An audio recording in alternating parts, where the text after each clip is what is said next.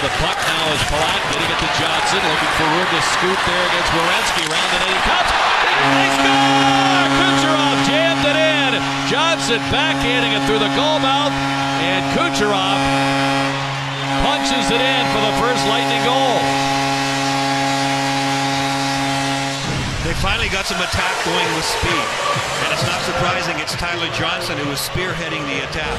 That's what drives the defenders back their zone. A little bit of open ice here, careful puck management, and here goes Tyler Johnson doing what he does best. Challenging defensemen. Getting around to the back of the net there and putting it into the paint.